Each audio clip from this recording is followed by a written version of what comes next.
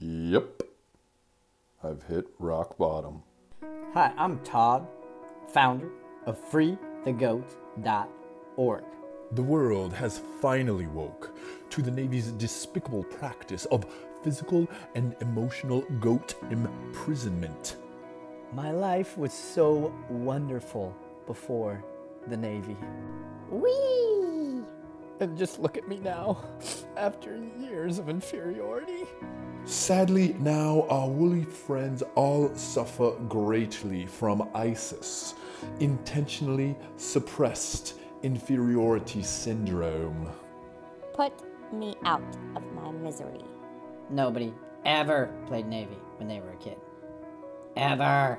Oh, please, God, make it stop. We weren't exactly at the top of the food chain anyway, but then you go and catch ISIS from the Navy. Ugh, they're the worst.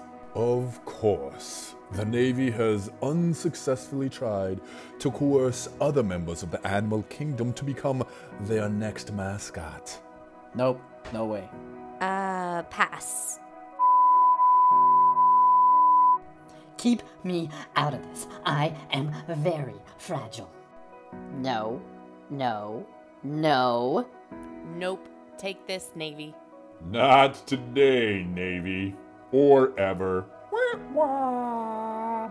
Yeah, I'd rather ride that bike off uh, a cliff to my impending doom, please. Not happening. Oof, yeah, it's just that uh, me and the Coast Guard, we kind of, um, awkward. Ouch. I'm so embarrassed. Join us, free the goats, beat Navy. Beat Navy. Beat Navy! Beat 'em. Beat Navy. Beat Navy. Navy.